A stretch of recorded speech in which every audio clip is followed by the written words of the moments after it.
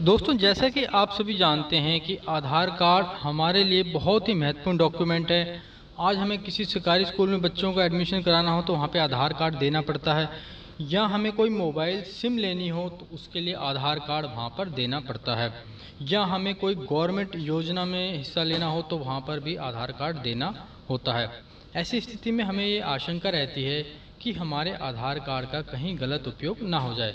तो इसका पता लगाने के लिए हम मैं आपको एक टिप्स बताऊँगा जिससे आप घर बैठे बड़ी आसानी से पता लगा सकते हैं कि आपका आधार कार्ड कहाँ कहाँ पर यूज़ किया गया है। आपको घर बैठे पता चल जाएगा कि आपका आधार कार्ड कहाँ कहाँ पर यूज़ हुआ है और आपको कोई फ़ीस भी नहीं देनी है। अगर आपका आधार कार्ड कहीं गलत जगह पर यूज़ हुआ है तो आप उसकी कंप्लेंट कर सकते हैं। तो आइए जानते हैं किस प्रकार से हम ये चेक करते हैं कि हमारा आधार कार्ड कहाँ कहाँ पर यूज़ हुआ है। तो इसके लिए सबसे पहले आपको आधार कार्ड की वेबसाइट पर जाना है। ठीक है, मैं इस वेबसाइट का लिंक आपको वीडियो के डिस्क्रिप्शन में भी दे दूँगा। आपको गूगल में आधार कार्ड की वेबसाइट पर जाना है। उसके बाद में आपको नीचे स्क्रॉल करना है। यहाँ पर आधार ऑथेंटिकेशन हिस्ट्री के ऊपर आपको क्लिक कर देना है। क्लिक करने के बाद में इस प्रकार का बॉक्स आएगा। यहाँ पर आपको आधार नंबर डाल देना है। आधार नंबर डालने के बाद में नीचे आपको राइट साइड में कैप्चा कोड दिखाई दे रहा है। ये कैप्चा कोड आपको यहाँ पर फिल कर देना है। फिल करने के बाद में आपको क्लिक करना है तो एक ओटीपी आपके मोबाइल पर आ जाएगा। यहाँ पर देखिए इस प्रकार का फॉर्म आएगा। इस फॉर्म को आपको फिल कर देना है।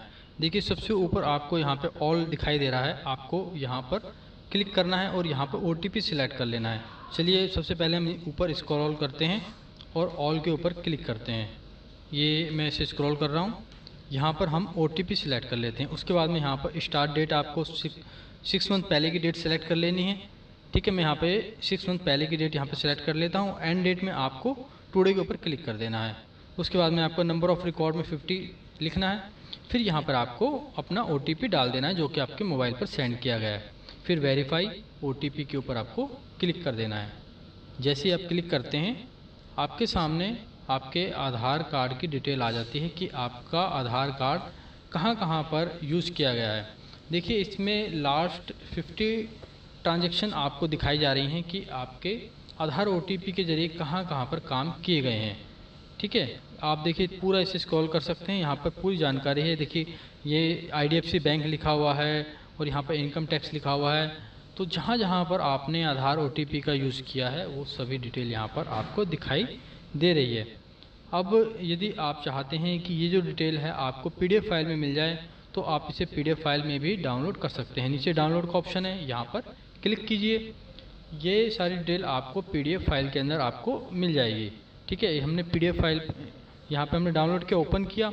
अब इसे ओपन करने के लिए आपको अपने नाम के पहले चार डिजिट कैपिटल में डालने हैं। उसके बाद में आपको अपने डेट ऑफ़ बर्थ का ईयर यहाँ पर डाल देना है। और फिर सबमिट के ऊपर क्लिक कर देना है। जैसे आप सबमिट पे क्लिक करते हैं, आपके सामने पीडीएफ फ़ाइल खुल जाती है। यहाँ पर आपको आपके आधार की डिटेल मिल जाती है कि आपका आधार कहाँ कहाँ पर यूज़ किया गया है। अब यदि आपको ऐसा महसूस हो रहा है कि आपका आधार कार्ड कहीं गलत जगह पर यूज़ हो रहा है तो आप उसकी कंप्लेंट भी कर सकते हैं। आपको 1947 नंबर मिलाना है, जो कि भारत सरकार के द्वारा जारी किया गया नंबर है। आप इस नंबर पर कंप्लेंट कर सकते हैं। आशा करता हूँ मेरे द्वारा दी गई जानकारी आपको अच्छी लगी होगी और आप इस वीडियो को लाइक करेंगे। यदि आप चाहते हैं आपको ऐसी जानकारी मिलती रहे तो वीडियो को लाइक करें और चैनल को सब्सक्राइब करें। साथ में नोटिफिकेशन बेल को भी दबाएँ। Thank you so much